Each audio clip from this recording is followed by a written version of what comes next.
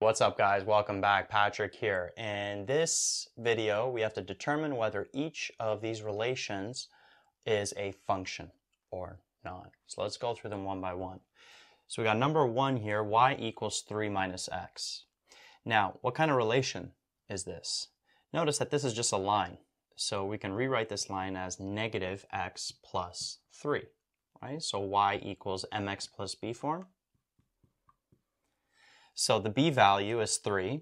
That is what? That's always the y-intercept as a review. And then there's like a negative 1 in front of the x. So that there is the slope. So if we were to roughly draw this, the y-intercept would be 3, so that would be up here. And then the slope would be negative 1. So it's like negative 1 over 1. So you would uh, rise down by 1 and then run by 1. Rise down by 1, run by 1. So roughly this line would look something like that, right? A downward sloping line. And then this is at 3. If you want something more precise, you can throw this in a table of values, pick a bunch of x values, plot them, etc., etc. I'm just uh, drawing a rough diagram for now. So this is the diagram for this line. Is it a function or not? Well, let's run the vertical line test. If we run a vertical line through this, notice that there's no points that are going to touch twice on this line, on the vertical line. So that means that this is a function. In fact, you may want to make a note that every line is a function except for a vertical line. So let's say we had a vertical line, maybe let's say x equals 4.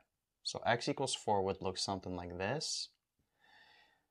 A vertical line is not a function because notice there's multiple points on this line that's touching a vertical line when we run it through.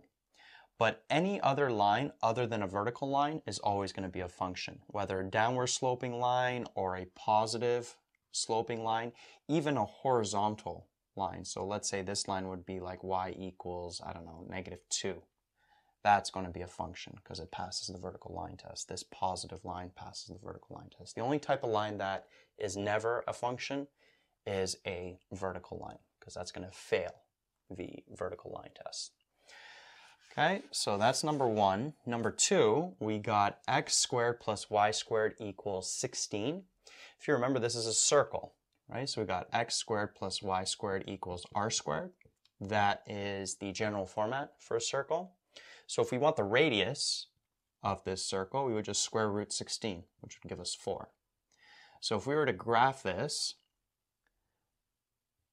the intercepts would be 4, 4, negative 4, negative 4, and you would just draw a circle like that. Right? So this graph here is x squared plus y squared equals 16. So is this a function or not? Run the vertical line test?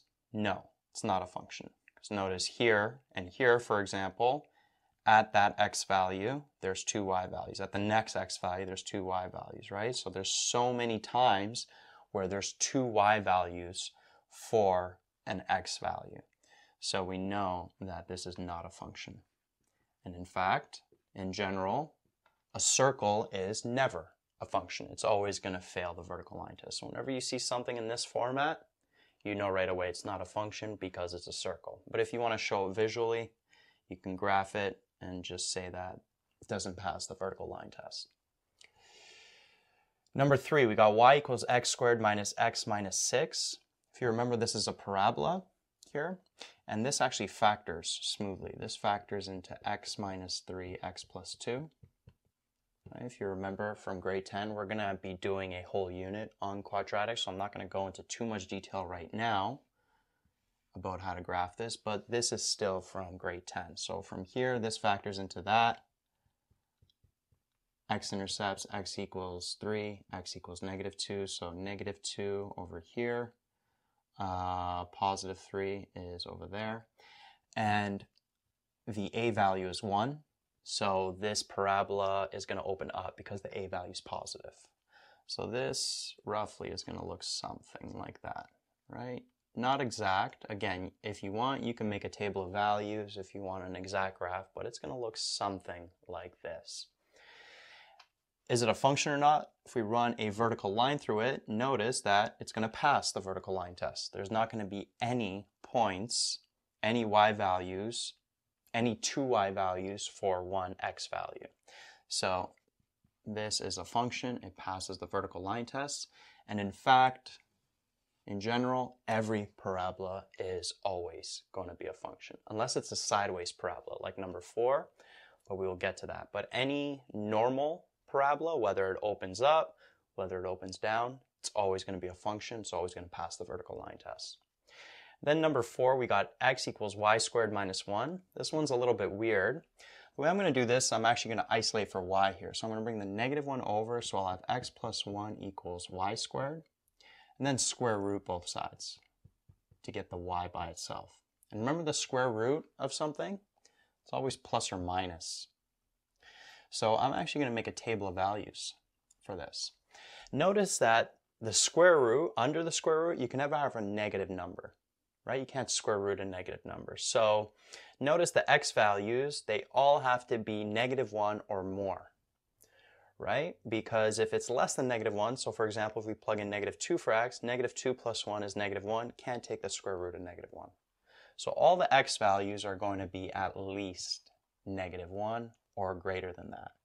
So if x is negative 1, what is y going to be? Well, negative 1 plus 1 is 0. Square root of 0 is just 0. What if we plug in uh, 0 here for x?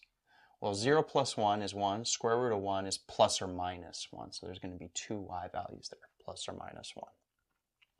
What if we plug in 1 for x? Well, if we plug in 1 for x, we actually won't get a smooth number for y because it's going to be 1 plus 1, which is 2, and the square root of 2 is some kind of decimal. So let's pick x values where we're going to continue having smooth numbers. So 3, 3 works. So if I plug in 3 for x, 3 plus 1 is 4, square root of 4 is plus or minus 2. And that's actually enough points to create a graph for now. So if I draw this out, negative 1 and 0, that is here.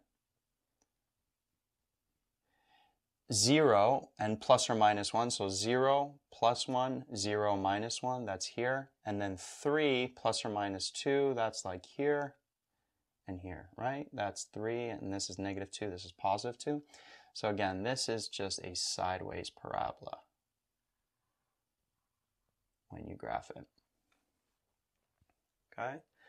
And then, uh, is this a function or not? Run the vertical line through it. Notice it's going to fail everywhere. Basically, there's multiple dependent variables for independent variables. So zero, uh, the independent variable zero has two dependent variables, plus one and minus one. Three, that independent variable has two dependent variables, plus two, minus two. So it's going to be failing the vertical line test. So it is not a function. So if you get questions like this, my suggestion is to try and graph them in different ways. You may have to go back to grade 10 a bit, review how to graph certain functions. But once you graph them, you could run the vertical line test, then you could see, is it a function or not?